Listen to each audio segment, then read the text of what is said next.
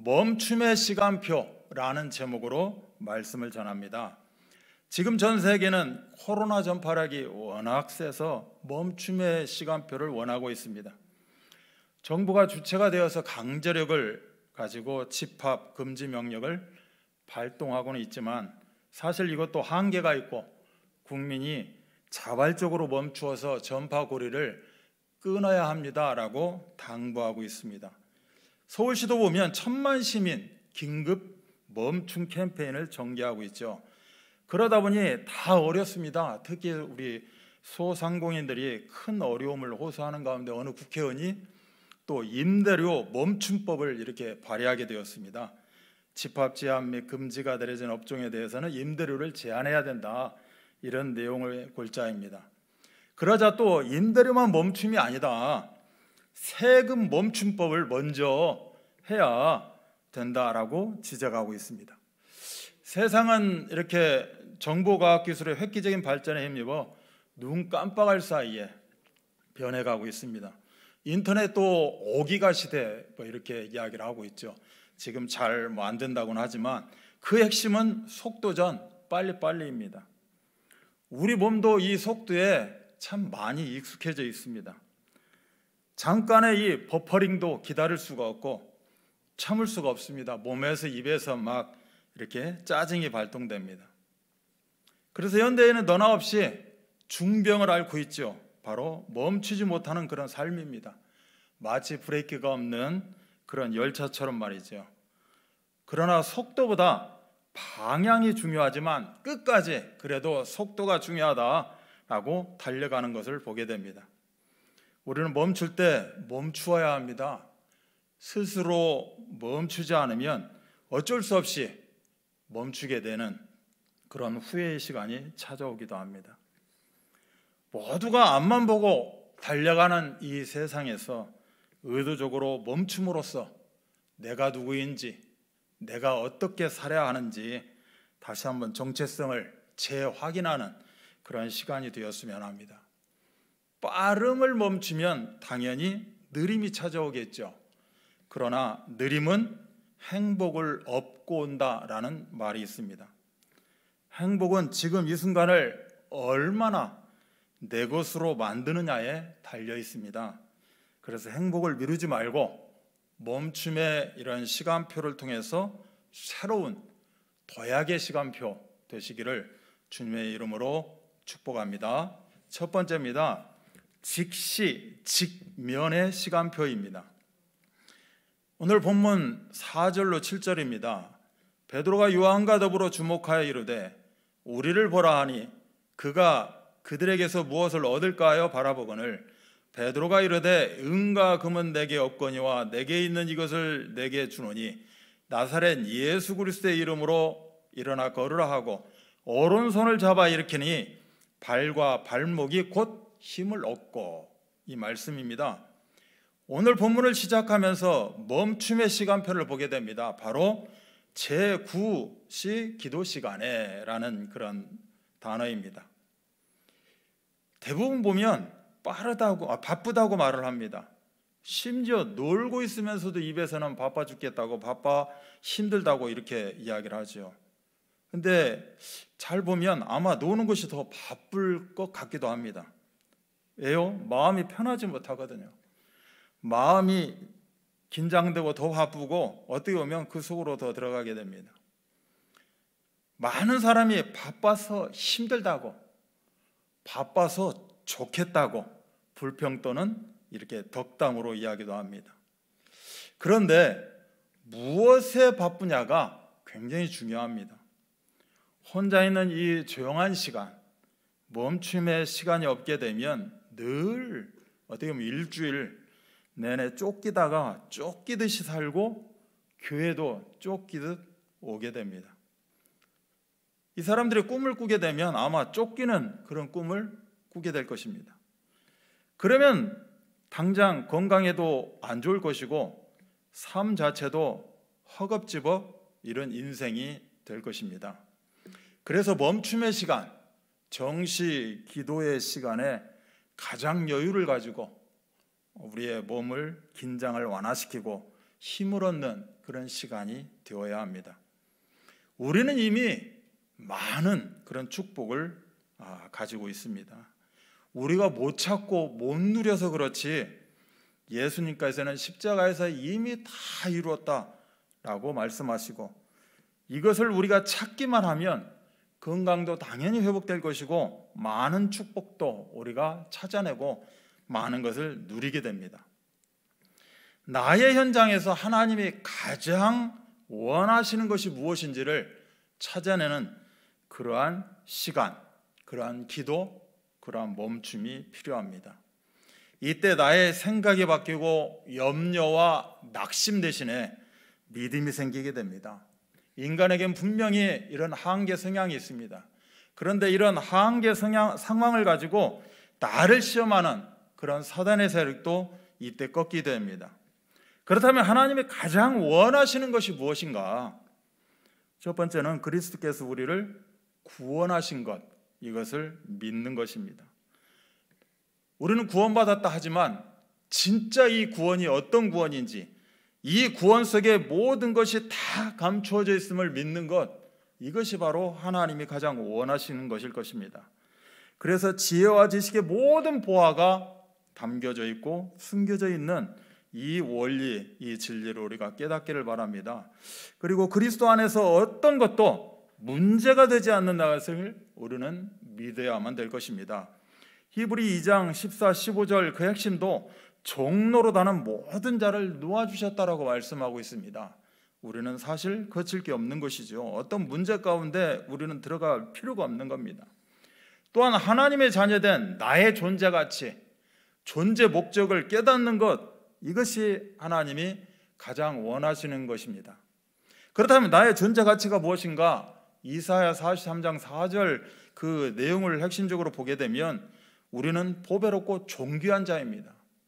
하나님이 우리 각자 너무너무 사랑하신다라고 말씀합니다. 그리고 우리는 날마다 보좌의 축복을 누리고 있습니다. 이것이 바로 우리의 존재 가치입니다.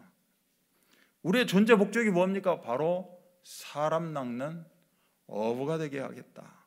제자로 증인된 삶으로 살아가는 것, 이처럼 존재 가치, 존재 목적을 깨닫는 것, 이것이 하나님이 가장 원하시는 것일 겁니다. 베드로와 요한은 이 멈춤의 시간표를 통해서 내가 누구인지 어떻게 살아야 하는지 분명 깨닫고 승리한 사람들입니다. 이 베드로와 요한은 정체성을 위한 멈춤의 시간표 제9시 기도 시간에 이걸 통했고 또 이걸 넘어서 현장을 향한 멈춤의 시간표를 갖게 되었습니다. 바로 4절에 보시면 주목하여 이르되 즉 직시의 시간표를 가졌다는 겁니다. 직시가 사전적인 의미로 보면 정신 집중, 대상을 똑바로 봄, 사물의 진실을 바로 봄이라고 기록되어 있습니다. 또 원어적으로 보면 아텐이죠. 무심하게 쳐다봤다가 아니라 분명한 목적을 가지고 보았다. 이것이 주목하여입니다. 같은 표현으로 사도행전 1장 10절에는 제자들이 승천하시는 예수님을 자세히 쳐다볼 때 이 단어가 기록되어 있습니다. 또한 사도행전 7장 55절은 스데반이 순교당하면서 하늘을 우러러 주목하여 보았을 때 또 이 단어가 기록된 것을 봅니다. 이렇게 주목하여 봤다는 거죠. 성전 문 앞에서 구걸하는 사람을 보았을 때 보통 사람들은 그냥 지나쳤습니다. 구걸하는 소리를 듣기는 듣되 건성으로 듣고 대개는 못 본 척하고 지나갔을 겁니다. 그도 그럴 것이 고통을 마주하는 것은 생각처럼 쉽지 않습니다. 실질적으로 내가 고통을 만나게 되면 내 자신부터가 참으로 고통스럽고 이게 쉬운 게 아니거든요. 그래서 고개를 돌립니다. 못 본 척 다른 곳을 응시하게 되죠. 사실 이 인간 고통은 그리 보기 좋은 그러한 광경이 못 되기 때문에 그렇습니다. 요새 방송에서 아프리카 기아 관련 이런 광고 영상을 많이 보게 됩니다. 뭐 유니세프나 월드비전 이런 군 네이버스 같은 NGO 단체에서 이렇게 아, 광고 영상을 띄우게 됩니다. 이 장면을 또 어느 신문에서는 이걸 보고 빈곤 포르노 영상이다라고 이렇게 아, 명명을 합니다. 즉 빈곤 등 고통스러운 이미지로 동정심을 유발하는 모금 캠페인 이걸 보고 빈곤 포르노 영상이다. 이런 광고를 하는 곳이 있는가 하면 또 비판하는 곳이 있죠. 어찌 됐든 이런 영상을 보면 참 안타깝죠. 뭐 이렇게 아프리카 그런 어, 어린 아이들이 정말 힘도 없고 팔이나 이런 것들이 막 그 입에 코에 붙어 있으면서 이런 모습들 정말 기아로 굶주리는 이런 모습들을 보면 참 안타깝고 그러나 참 그 영상을 보기가 참 많이 힘듭니다. 그래서 비판하는 쪽에서는 인권 침해다라고 이야기를 하면서 역발상에 또 이렇게 영상을 내보냅니다. 오히려 아프리카에서 노르웨이를 도와주는 Radi-Aid 캠페인 뭐 이렇게 이야기를 합니다. 거꾸로 그렇게 보여주면서 실질적으로 이 캠페인에 참여해서 아프리카를 돕자 뭐 이런 내용입니다. 이 영상을 보고 있는 많은 사람들이 이러한 비판을 떠나서 전에는 뭐 천 원부터 시작했던 것 같은데 지금 삼천 원인 것 같아요. 보면 삼천 원, 뭐 경우에 따라서는 한 구자, 두 구자, 3만 원, 30만 원 이렇게 많이 후원을 합니다. 제가 이 말씀을 드리는 이유는 잘잘못을 말하는 것이 아니라 무엇을 보아야 하는가 이런 내용의 취지입니다. 저는 이 영상을 보면서 십자가 사랑으로 이들과 함께 하고자 하는 그런 전도자의 눈물을 보게 됩니다. 바로 우리와 함께 하고 있는 어, 유니월드입니다. 유니월드도 이런 단체들처럼 똑같이 NGO 단체입니다. 그러나 이 유니월드는 이들 단체들처럼 규모가 크거나 또 오래되지는 못했습니다. 그러나 분명히 알고 있는 게 있습니다. 하나님의 마음을 압니다. 또한 그래서 전도자의 눈물로 기도합니다. 하나님, 그 땅에 이곳에 하나님의 나라가 임하게 하소서. 복음 때문에 생명 걸 이유를 발견하고 복음 때문에 전도자의 눈물로 기도하는 우리와 함께하는 유니월드 페미피아 우리가 함께 후원하고 함께 어깨를 나란히 하며 가야 할 237 나라 플랫폼 아웃소싱 NGO 단체인 줄 믿습니다. 예수님은 현장을 어떻게 직시하셨습니까? 누가복음 7장 36절 이하에 보면 바리새인 시몬이 나오고 이 시몬이 예수님을 식사에 초대합니다. 이때 죄 많은 여인이 예수님 앞에 찾아오게 되죠. 바리새인 시몬은 이 죄 많은 여인에게 친절을 베푸는 예수님이 참 못마땅했습니다. 이 여인은 예수님으로 자기 죄를 직면하고 회개 심령으로 온 마음과 정성을 다해 사랑을 표현합니다. 억합을 깨뜨려 예수님에게 참으로 최대한의 사랑을 표현하는 장면들이 나옵니다. 그러나 시몬은 이 여인을 올바로 직시하지 못합니다. 편견의 눈으로 율법의 눈으로 직시하게 되죠. 예수님이 그를 시험하십니다. 누가음 7장 44절에 이 여자를 보느냐? 네가 이 여자를 정확히 보고 있느냐라고 질문하는 내용입니다. 시몬은 이 여인의 영혼을 보지 못했습니다. 이 영혼의 소리를 당연히 듣지 못했고 자기가 더 큰 죄인이면서도 썩어질 눈으로 그 보이는 죄만 언급하고 있는 겁니다. 이러한 현장을 예수님은 어떻게 주목하시고 계시는가? 어떻게 직시하는가? 마태복음 9장 36절에 불쌍히 여기시니 불쌍히 여기십니다. 사랑과 측은지심의 그 연민 속에서 내장이 괴롭게 뒤틀릴 정도로 그 현장을 주목하시고 직시하십니다. 내장이 괴롭게 뒤틀릴 정도 그게 바로 불쌍이라는 그런 단어의 뜻입니다. 아마도 이것이 우리가 고개를 돌리는 이유일 겁니다. 그런 현장을 보게 될 때 많은 사람들은 이런 느낌을 가지고 고개를 돌릴 수밖에 없다는 겁니다. 내장이 뒤틀리는데 어차피 할 수 있는 일도 없는데 무엇하러 이 고통을 직시하느냐고 생각할 수 있습니다. 그러나 절대 그렇지 않습니다. 내가 조금 관심을 가지고 직시했는데 내가 조금 직면시키기 위해서 소통하는 그런 멈춤의 시간표를 가졌는데 여기서 직면이라고 하는 것은 복음적으로 복음 말씀으로 조명해서 갱신하고 개혁하고 치유하는 것이 직면입니다. 그래서 어, 상담자가 어떤 내담자를 직면시키는 그러한 아, 상담 심리 용어가 되는 거죠. 복음으로 말씀으로 강단으로 나를 조명시키고 그 말씀으로 그 상대방의 영혼을 조명시켜서 또 조명시키기 위해서는 그 사람과 내가 소통되어지고 관계가 아, 좋아야겠죠. 그래서 직면시키기 위해서 이렇게 소통하는 멈춤의 시간을 가졌을 뿐인데 이 시간에 누군가의 고통이 줄어들 수 있다면 이런 만남은 희망이 되는 것이고 이런 만남은 사랑의 시간표가 되는 것입니다. 바로 전문 사역 현장이 이러한 현장이지 않나. 함께 직시하고 복음으로 직면해서 희망을 나누는 그런 사랑의 현장이 바로 우리가 함께하고 있는 이런 전문교회 전문 사역인 줄 저는 아, 알고 있습니다. 여기 함께하는 우리 귀한 사역자들 참으로 그런 고통을 보면서도 감내하면서도 고개 돌리지 아니하고 정말 직시하고 직면시키고 소통하기 위해서 참 기도하는 모습들을 보게 됩니다. 베드로와 요한은 안진뱅이 뒤에 감추어진 어마어마한 하나님의 계획을 보았습니다. 운명에 잡혀 있는 그 인간을 본 것이죠.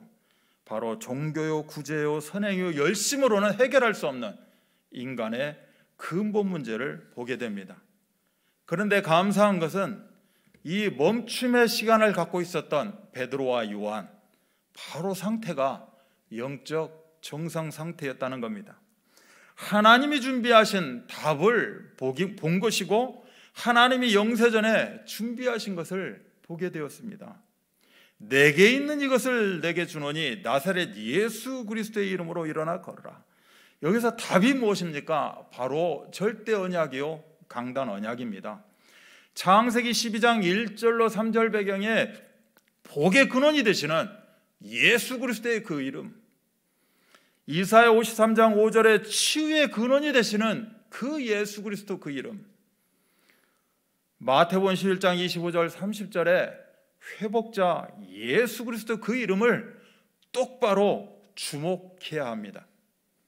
그래서 믿음의 주요 온전하게 하시는 예수를 바라보는 그러한 멈춤의 시간이 분명히 필요한 것입니다. 오른손을 잡아 일으켰습니다. 직시했을 것뿐만이 아니라 오른손을 잡아 일으킵니다. 바로 제가 보는 직면의 시간표입니다. 그 이름에 힘입어 나를 밝히고 나를 조명합니다. 이제는 각인시키고 이제는 갱신하라고 말씀하십니다. 거룩하고 흠이 없는 자로 부르셔서 영원히 흔들리지 않는 그러한 영원히 흔들리지 않도록 이제는 영원히 정말 예수 그리스도의 반석 위에 굳건히 서서 참으로 인도받을 수 있도록 성령으로 인을 치셨습니다.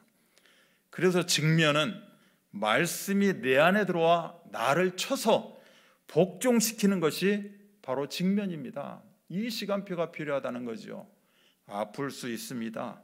그러나 아픈 만큼 성숙해지듯이 직면의 시간을 통해서 예수 안에만 있는 참 안식을 깨닫기를 원합니다. 인생의 유일한 회복자 예수 그리스도 안에 참된 답이 있고 참된 쉼이 있고 영원한 행복이 있음을 체험하시기 바랍니다. 그래서 히브리 4장 12절은 말씀합니다. 하나님의 말씀은 살아 있고 활력이 있어 저의 날선 어떤 검보다 예리하여 혼과 영과 관절과 골수를 찔러 쪼개기까지 하며 또 마음의 생각과 뜻을 판단하신다고 합니다. 말씀이 나에게 직시되고 내 안에서 직면될 때 치유와 서밋의 응답을 우리가 누리게 됩니다. 이 말씀을 이루는 자, 이 말씀의 증인 되시기를 주 예수 그리스도 이름 받들어 축원합니다. 두 번째입니다. 직립 직진의 시간표입니다. 오늘 본문 7절로 8절입니다. 오른손을 잡아 일으키니 발과 발목이 곧 힘을 얻고 뛰어서서 걸으며 그들과 함께 성전으로 들어가면서 걷기도 하고 뛰기도 하며 하나님을 찬송하니 아, 발 건강이 좋아야 몸이 참 건강하다고 합니다. 그런데 발은 가장 낮은 곳에서 고생을 가장 많이 합니다. 그리고 어떻게 보면 가장 홀대를 받습니다. 아, 참 멋있다. 키도 커 보이고 너무 좋다. 그런데 발은 너무 힘들어 합니다. 딱딱한 콘크리트 바닥을 걸어 다니는 동안 몸무게의 80% 하중을 받아서 1km를 걸으면 무려 16톤의 힘을 감수해야 된다라고 이야기합니다. 사람 몸의 뼈가 206개라고 합니다. 그런데 발에 관계된 뼈는 52개입니다. 그래서 4분의 1을 차지합니다. 제가 정형외과 의사는 아니지만 조금 알아보게 되었습니다. 근육 인대는 38개고 아 근육은 38개고 인대는 214개가 된다고 합니다. 양쪽 발이. 그래서 어떻게 보면 이 발, 이 하체는 혈액을 혈액을 심장으로 되돌리는 그 펌프 기능 제 2의 심장이다. 또 뭐 인체의 축소판이다. 민감한 센서다라고 이렇게 이야기하는 것을 보게 되었습니다. 이렇게 이야기하다 보니까 음, 저도 발에 의지해서 이렇게 서 있지만 제 발에게 참 이렇게 미안한 생각이 듭니다. 왜 제가 이렇게 발에 대해서 자세하게 이야기하는 이유가 있습니다. 나면서 못 걷게 된 이 사람의 발, 과연 어떨까요? 저는 압니다. 완전히 돌처럼 굳어져 있을 겁니다. 인간의 힘으로는 이 뼈들을, 이 근육과 인대를 원활하게 움직일 수 있는 그러한 어떤 방법이 없을 겁니다. 창세기 3장 운명의 함정에 창세기 6장 운명의 틀 속에 창세기 11장 운명의 올목 가운데 굳어져 있는 것입니다. 이러한 현장에 예수 그리스도 이름이 선포됩니다.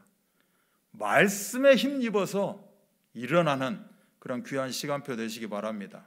그래서 이사야 60장 1절은 일어나라 빛을 발하라 이는 내 빛이 이르렀고 여호와의 영광이 내 위에 임하여 있느니라. 예수 그리스도 그 이름으로 일어나 뛰어서서 걸으며 하나님을 찬송하고 예배자로 증인으로 참으로 우리는 쓰임 받아야만 합니다.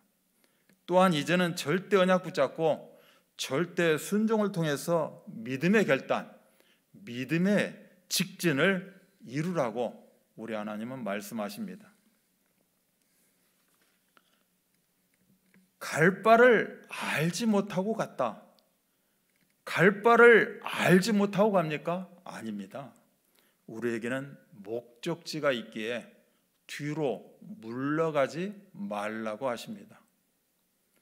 빨리 뛰어가야 중요합니까? 아닙니다. 우리에게는 237 나라 복음화에 흐름이 있고 방향이 있습니다. 그래서 믿음의 결단, 믿음의 직진이 중요한 것입니다. 이스라엘 백성이 홍해를 건넜습니다. 이제는 더 결단하는 요단 도하가 기다리고 있습니다. 언약계를 따라 물이 넘실대는 그러한 요단으로 들어가라 말씀하십니다. 언약계를 보면서 앞선 자를 따라갑니다. 힘주고 용기 주고 서로 윈윈하며 믿음의 직진을 합니다. 또한 oneness maker로 first mover의 삶을 사는 것입니다. 믿음의 직진은 여러 모양으로 나타납니다. 방금 말씀하, 말씀드렸던 대로 요단강으로 직진해라. 또 여리고 주위를 돌면서 직진해라라고 말씀합니다. 호흡이 있는 자 모두를 완전히 멸절하는 그런 직진도 말씀하십니다. 가나안 족속들 그 모든 호흡이 있는 자를 완전히 멸절하라. 이렇게 직진을 말씀하시는데 또 직진에서 어긋나는 이렇게 또 행동들을 하게 됩니다. 아말렉 전투처럼 기도로 승리를 이루는 이러한 직진도 말씀하십니다. 안악 사람과 크고 견고한 성읍이라도 차지하고 마는 이런 직진도 성경은 기록하고 있습니다. 태양과 달이 멈추는 전무후무한 직진, 우리가 익히 알고 있는 믿음의 직진입니다. 본문에서 이 믿음의 직진은 무엇입니까? 인생의 최고 우선순위, 행복한 예배자로서는 이 믿음의 직진을 지금 우리에게 보여주고 있습니다. 그랬을 때 주님께서 주시는 쉽고 가벼운 짐, 하나님께서 하실 일을 나타내는 증인의 직진, 이것을 우리 하나님은 원하시는 것입니다. 강단 언약을 붙잡고 일어나서 본당 헌당과 237 나라 복음화를 이루는 믿음의 결단, 그런 믿음의 직진이 있기를 주 예수 그리스도 이름 받들어 축복합니다. 아, 결론적으로 오늘 본문 9절로 10절 말씀을 보도록 하겠습니다. 모든 백성이 그 걷는 것과 하나님을 찬송함을 보고 그가 본래 성전 미문에 앉아 구걸하던 사람인 줄 알고 그에게 일어난 일로 인하여 심히 놀랍게 여기며 놀라니라. 오늘 본문에서 최고의 기적, 최고의 응답은 무엇인가? 바로 사주팔자 그 운명에서 완전히 벗어나는 운명을 완전히 바꿔버리는 그래서 새 생명을 얻은 구원의 기적, 구원의 축복일 것입니다. 이것을 그 나면서 못 걷게 된 안전뱅이가 분명히 누렸던 구원의 축복이지만 우리 모두가 누리고 있는 그러한 구원의 기적, 구원의 축복일 것입니다. 영과 홍과 관절과 골수를 찔러 쪼개는 영적 치유, 정신 치유, 육신 치유, 즉 전인격적인 전인 치유가 일어나는 그러한 장면을 보게 됩니다. 이것이 바로 우리가 누리고 있는 최고의 기적, 최고의 응답일 것입니다. 전도의 문이 엄청나게 크게 열렸습니다. 사도행전 4장 4절에 보면 믿는 자가 많으니 남자의 수가 5천이나 되었다고 합니다. 이 장면을 보고 이 장면에 대해서 이야기하는 메시지를 전하는 그 말씀을 듣고 이러한 엄청난 역사가 일어나는 것을 보게 됩니다. 우리에게도 분명히 주어져 있는 이 언약의 말씀이요, 이 약속의 현장들입니다. 우리에게도 이러한 역사 응답은 분명히 일어날 줄 믿습니다. 또한 사도행 4장 10절에 보면 증인이요 제자가 되어 있는 모습을 보게 됩니다. 그 제자들과 함께 그 많은 백성 앞에 공의 앞에 정말 그 증인의 증거를 가지고 이 장애인은 아, 복음을 전하는 그런 장면을 연출합니다. 나면서 복 걷게 된 이 장애인이 예수가 그리스도라는 그 증거입니다. 이 증거를 가진 바로 증인으로 쓰임 받게 되었다는 것이죠. 말씀은 살아 있어 어제나 오늘이나 영원토록 동일하게 역사합니다. 왜 이 말씀을 드립니까? 베드로에게 일어났던 이 역사가 바울에게 그대로 나타나게 됩니다. 그것이 바로 사도행전 14장 8절로 10절의 내용입니다. 나면서 걷지 못하고 발을 쓰지 못하는 그 장애인에게 네 발로 바로 일어서라 하니 그 사람이 일어나 걷는지라. 베드로에게 일어났던 그 기적의 역사 바로 바울로 이어집니다. 그래서 하나님께 영광을 돌리는 그 모습을 그 내용을 우리가 보고 참 우리 또한 하나님께 영광을 돌립니다. 이 말씀은 당연히 지금도 역사하고 지금도 이 기적은 일어나고 있는 것입니다. 이 기적의 내용, 기적의 시간표 이것이 지금 우리 앞에 놓여 있고 내가 가지고 있는 겁니다. 그렇다면 이것을 지금 이 멈춤의 시간표를 통하여서 한번 우리가 다시 한번 정리해 보기를 원합니다. 지금 계속해서 강단을 통해서 CVDIP 그런 내용이 계속해서 말씀되고 있습니다. 나의 CVDIP는 무엇인가? 정말 이 멈춤의 시간표 속에서 다시 한번 붙잡아야 될 나의 그 언약, 그 말씀으로 나를 직시하고 직면해야 되는 그 언약. 이제는 하나님이 시간표 속에서 참으로 이제는 일어나서 이제는 그 세상을 향해서 믿음에 직진해야 되는 그러한 하나님이 주신 내용들이 무엇인지 우리가 다시 한번 참으로 묵상하며 정식기도를 통하여서 정리하는 시간이 되었으면 좋겠습니다. 우리 드림교회도 CVDIP를 한번 이렇게 마음에 담아보게 되었습니다. 성경 말씀을 좀 대입해서 잠깐 이렇게 말씀드리도록 하겠습니다. 우리는 CVD, IP 다섯 가지를 이야기하죠. 그 중에 가운데가 D입니다. 드림입니다. 바로 우리 드림교회 이름이요. 드림교회 내용입니다. 드림은 24 누림입니다. 정말 24 그리스도의 빛이 꺼지지 않는 그러한 드림교회. 참으로 현장 가운데 예수 그리스도의 그 반석 위에서 그리스도의 사랑을 나누고 누리는 그 드림교회를 소원하는 그런 내용입니다. 그 큰 사랑을 펼치는 교회 바로 그게 D로 붙잡은 드림으로 붙잡은 우리 드림교회의 내용입니다. 마가복음 2장 3절로 5절은 사람들이 한 중풍병자를 네 사람에게 메워 가지고 예수께로 올세 무리들 때문에 예수께 데려갈 수 없으므로 그 계신 곳에 지붕을 뜯어 구멍을 내고 중풍병자의 누운 상을 달아 내리니 예수께서 그들의 믿음을 보시고 중풍병자에게 이르시되 작은 자야 네 죄 사함을 받았느니라 하시니라는 내용입니다. 정말 이것이 우리 드림교회 보면 절대 언약이요. 이것을 우리가 24 누림 가운데 있는 것입니다.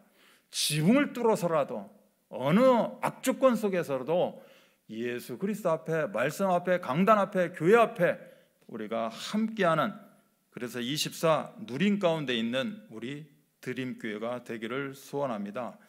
그 다음에 이 드림 교회 D 앞에 두 가지가 있습니다. 바로 C하고 V입니다. 이 dream을 무엇으로 누리냐는 거죠. 바로 C 그 큰 사랑을 깨닫는 교회가 되는 것이 covenant 우리 드림교회의 마음입니다. 요한일서 4장 16절 하나님이 우리를 사랑하시는 사랑을 우리가 알고 믿었노니 하나님은 사랑이시라 사랑 안에 거하는 자는 하나님 안에 거하고 하나님도 그의 안에 거하시느니라. 미리 보기 무엇을 봅니까? 하나님의 그 절대 주권적 그 사랑을 우리가 마음에 품고 그 사랑을 위해서 우리가 헌신할 수 있는 그게 바로 드림교회의 커버넌트이지 않나라고 생각을 해봅니다. 부인은 비전이죠. 그 큰 사랑을 누리는 교회입니다. 요한복음 9장 3절이죠. 예수께서 대답하시되 이 사람이나 그 부모의 죄로 인한 것이 아니라 그에게서 하나님이 하시는 일을 나타내고자 하심이라. 하나님이 분명 하실 일이 있다는 겁니다. 미리 보기를 통하여서 절대 주권적 사랑을 붙잡은 자 하나님은 그를 통하여서 분명히 하실 일이 있다는 겁니다. 지금의 형편 처지 중요하지 않다는 겁니다. 지금의 모습, 지금의 장, 장애 중요하지 않다는 겁니다. 하나님 그거를 도구로 사용하시겠다라고 말씀하고 있는 것입니다. 이처럼 그 큰 사랑을 깨닫는 교회 천명입니다. 그 큰 사랑을 누리는 교회 소명입니다. 이 천명과 소명을 사명으로 붙잡는 그 드림 바로 드림교회 24입니다. 그렇다면 이 드림은 앞으로 어떻게 해야 됩니까? 바로 이미지입니다. 그 큰 사랑을 이루는 교회 바로 사천 말씀 운동을 붙잡게 됩니다. 느헤미서 8장 1절로 12절 그 내용 중에 모든 백성이 곧 가서 먹고 마시며 나누어 주고 크게 즐거워하니 이는 그들이 그 읽어 들려준 말을 밝히 알미라. 어떻게 하면 복음 한 구절, 복음의 그 내용, 예수가 그리스도된 사실을 어떻게 하면 함께 나눌 수 있을까? 직시하고 직면하고 그것을 이루어가는 거기에 어떤 고통이 따르고 거기에 어떤 어려움이 따른다 할지라도 이거는 발판이다라고 여기며 하나님의 그 큰 사랑을 이루는 교회 이것이 우리 드림 교회 이미지 이미지화 되어져야 한다라고 아, 기도해 봅니다. 피는 프랙티스 그 큰 사랑이 넘치는 교회 바로 237 나라 장인 복음화 이루어가는 그게 바로 드림교회의 실천 방향입니다. 오늘 말씀이죠. 사도행 3장 6절로 8절 말씀 읽었습니다. 또한 8장 7절로 8절은 많은 사람에게 붙었던 더러운 귀신들이 크게 소리를 지르며 나가고 또 많은 중풍병자와 못 걷는 사람이 나으니 그 성에 큰 기쁨이 있더라. 드림교회가 불밝히는 모든 현장 가운데 큰 기쁨이 넘쳐나는 것. 이것이 우리 하나님께서 드림교회를 향해서 실현시켜 주고자 하는 그러한 참으로 언약의 내용이지 않나라고 기도해 봅니다. 이처럼 우리 모두는 나에게 주신 직분, 이 직분의 CVDIP가 무엇인가? 내 평생 언약 가운데 CVDIP가 무엇인가? 곧 있으면 21년도 새로운 언약을 주실 겁니다. 그 21년도 나를 향한 하나님의 CVDIP가 무엇인가? 그래서 이러한 멈춤의 시간, 참으로 언약을 붙잡고 언약을 묵상하고 CV를 이루어가는 이런 멈춤의 시간도 필요하고 또한 IP처럼 어떻게 하면 세상 가운데 인내하며 때로는 고통 가운데 임할지 모르지만 그거를 그리스도의 복음으로 이겨나고 기필코 실현시키고 많은 그러한 현장을 향한 멈춤의 시간표도 필요할 것입니다. 그래서 항상 우리가 꿈꾸는 것, 하나님이 주신 것 이루어가는 그런 귀한 응답의 시간들 되시기 바랍니다. 그래서 우리 예원의 성도님들이 주목하고 멈추는 그 현장에 강단 언약이 선포되고 직면되어서 운명이 바뀌고 구원의 기적이 일어나는 본당 헌당과 237 나라 복음화의 증인으로 쓰임 받도록 주 예수 그리스도를 받들어 축원합니다.